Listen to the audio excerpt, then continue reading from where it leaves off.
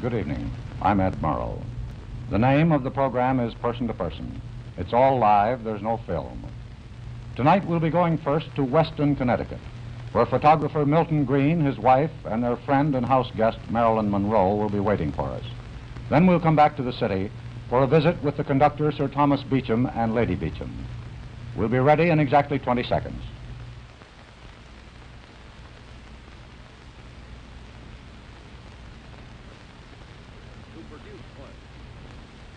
Long distance, Maine to Florida.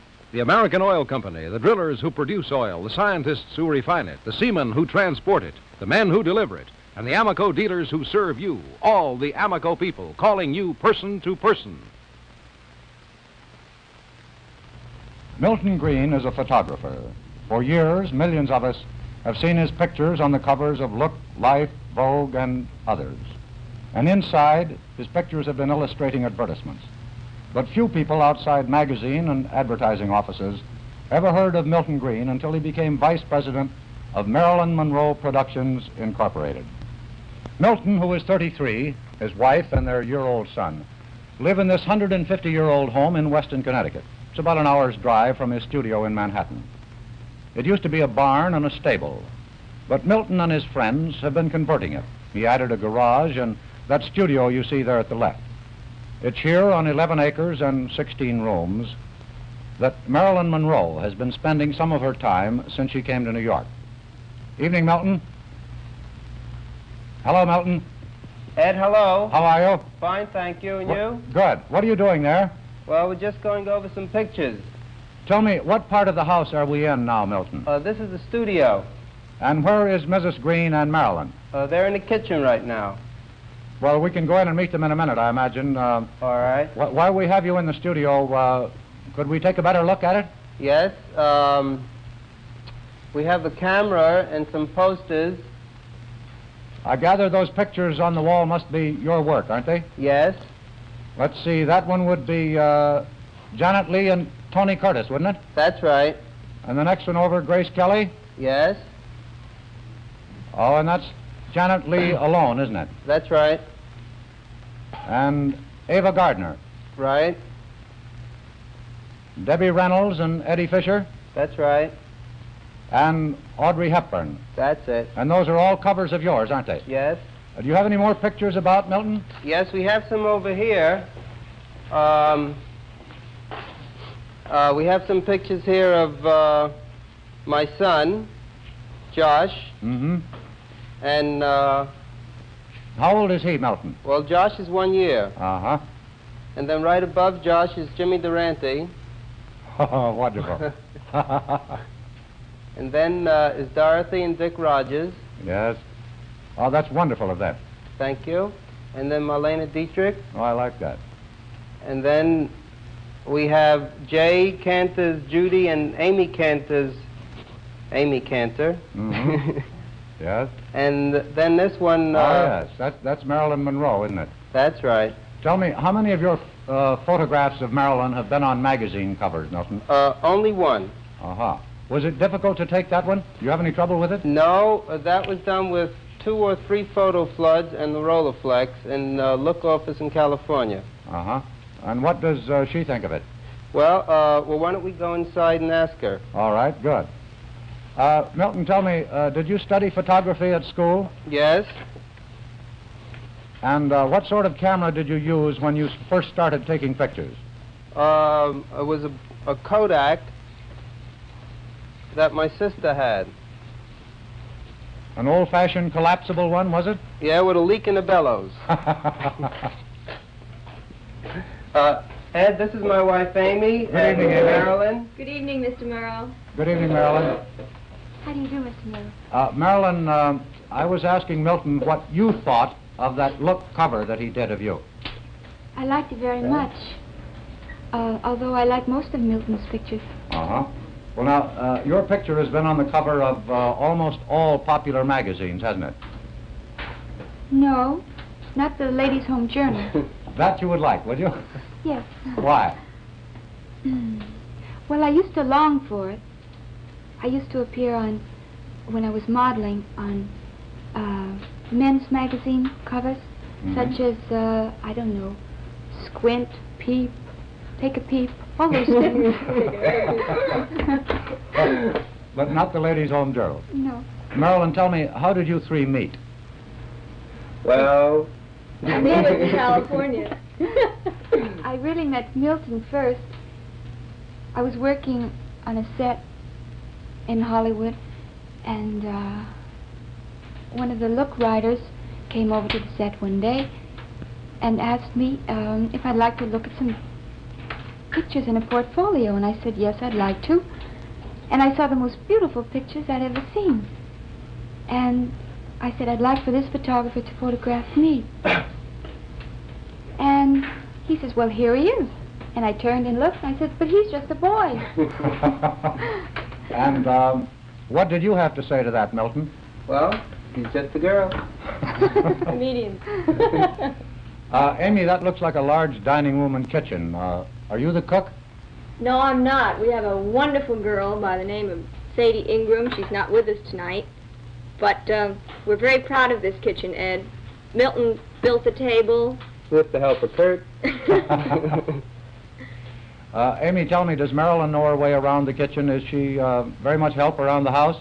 Well, yes, she is. She's sort of a, an ideal guest. She's not trouble to anyone, and she picks up after herself, and uh, she's just fine. You don't even know she's around. Does she make her own bed Yes, she does, and she helps me with the baby to bathe him. and cleans her own Feed 'em. room? Yes, she does. Uh-huh. Has she ever come in handy as a babysitter? well, that's it. On quite a number of occasions. yes, Christmas Eve and New Year's Eve. Uh, Milton, about uh, this matter of Monroe Productions. Yes. Have you and the president of the company had any offers yet? Excuse Yes. me, why don't we go into a more comfortable room? All right. Easy peasy. Where, where are we going now, Amy? Uh, this is our den Uh-huh. With the books and the television set and a nice warm fire. It's chilly tonight. Mm. Oh, Milton, I was asking you just before you moved about uh, Monroe Productions. Yes. Uh, have uh, you and the president had any offers yet? Oop, there's a telephone, Ed. That's another offer. yes, we've had quite a few, Ed. Uh, we had some for TV and the theater uh, in Europe and here, um, movies, books, um, real estate. but you haven't decided uh, on any one yet, is that it? No, we've uh, got a few things in mind, but nothing definite as yet. Uh, Marilyn, tell me, what's the basic reason for this corporation? Primarily to contribute to help making good pictures. Well, would it be fair to say that uh, you got rather tired of playing the same kind of roles all the time and, and wanted to try something different? Well, I it's, it's not that I object to doing musicals or comedies. In fact, I rather enjoy it. But I would like to do also dramatic parts too. Mhm. Uh, guess that covers it. Amy, are you in the corporation too? Uh, no, I'm not. I sort of take care of uh, Milton, who's very important, and Josh, Mhm. and That's e- Marilyn. that's even more important, isn't it, Josh? Yes. He's sound Marilyn, asleep, by the way. uh, uh, Marilyn, what's the best part you ever had in a movie? Well, one of the best parts I've ever had was in the Asphalt Jungle, John Huston's picture, and then um, Seven Year Itch with, well, Billy Wilder's picture. You think that's going to be a big one too, don't you? Pardon? You think that's going to be a big one too, don't you? The seven-year itch. Yes, I, I think it'll be a very good picture, and I would like to continue making this type of picture. Well, now, uh, what, what's the smallest part you ever had? Um, two I can think of.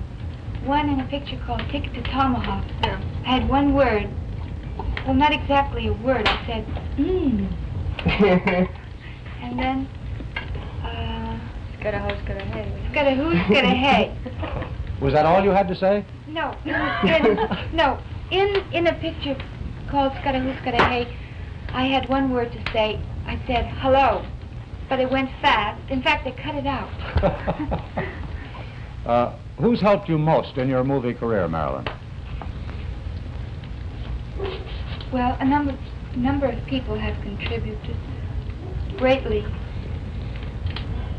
Um, I think when John Huston wanted me for the part in Asphalt Jungle, and I think when Billy Wilder wanted me for the part in Seven Year Itch, I think that was very important. Also, working with my coach, Natasha Lytess, she's helped me very much from the very beginning. And I also got a great deal from attending classes with Michael Chekhov. Mm-hmm. I notice you mentioned two directors. Have you found Huston and Wilder important to you? Yes, very much so. Well, Marilyn, now that, uh, uh, how, how, do you mean important? I mean, uh, do you play a part in order to uh, impress them or please them? Definitely. I think when you have a, a very good director, uh, of course you... In fact, I think the story is very important. But even personally, more important to me than the story is the director, because the director usually has a good story. A good director usually has a good story. Um, a director, I think, can contribute a lot because when you feel that when you're acting and the director is with you and not just sitting by as um, just as the audience. Yes. But he's really with you every moment, everything you do. I think it's very important. It has been to me. Well, Marilyn, now that you're a New Yorker, uh, how do you like this city anyway? Oh, I love it. Everyone's very friendly, and it's a very optimistic, friendly city. how do you like Connecticut? I like it. It's the first time I'd, I'd ever seen the woods. And I love to walk in the woods with the dogs, and I enjoy it. Where are the dogs? Well, are, are you always recognized wherever you go in, in the nearby towns and in New York? No, not really. Um, I can put on a no polo coat and no makeup and get along pretty well. Is that is that right, Milton? What's that? Is that right that she can go about without being recognized? Well, sometimes it seems that way. Other times, uh... Oh, the funny thing was, remember that day in the taxi oh, yes, cab? that's right. Uh, it was when she came to oh. uh, do the window scenes for the seven-year itch. Yes. And we were depositing her back at her hotel, and there were about five million people outside. And the taxi cab driver turned around to the three of us, Marilyn in the middle, and said, Hey, you know who's in there? Marilyn Monroe. Marilyn, I saw some pictures of you the other day uh, riding an elephant at the circus. Did you have fun? Oh, I loved it. It was wonderful. It was a pink elephant. Uh-huh. Uh, did you have any practice before you rode it? No, I hadn't, but I enjoyed it very much. I became quite fond of the elephant. He was very nice. and the people were wonderful. All the crowds and everything. Um, Especially I, the ones way up in the back. Yes, that's right. I was telling Amy before about the people up in the balcony, way up in the far, far balcony. They were especially friendly. But uh, I think it meant a lot because, probably because I hadn't been to a circus as a kid. Mm-hmm. And I like circuses. I think we all do. Thank you very much, Milton, Amy, and Marilyn, for letting us come and visit you in uh, your home in Connecticut this evening. Good night, Thank Mr. you. Murrow. Good Good night. Tomorrow. Good night. In just a moment, we'll be taking you for a visit with Sir Thomas and Lady Beecham.